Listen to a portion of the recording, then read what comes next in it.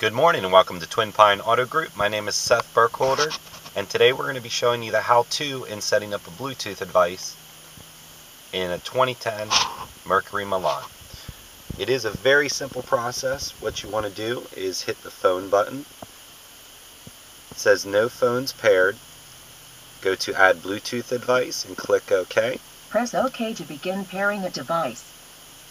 Now you want to go to your settings menu on your phone open up the Bluetooth menu. Go back here, we went to the wrong one. Go to the Bluetooth menu. And you want to make your phone discoverable. Scan devices and press OK.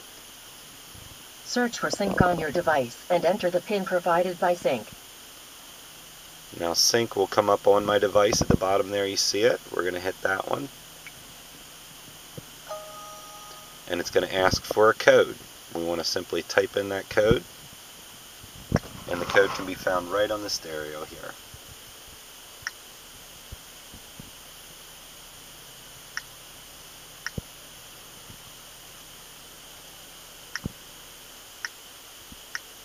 Once we have the code entered, we're going to click OK.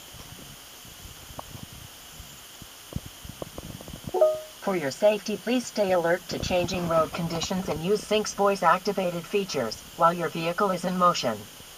To use this device for Bluetooth audio, change your source to Bluetooth audio in the media menu. As you can see, it gives you all your voice prompts and uh, you can set as your primary phone, secondary phone, and gives you many other options. Uh, if you have uh, questions on operating this device or any other, just refer to Twin Pine Auto Group in the video section and we'll give you a how-to on this and many, many other features on cars.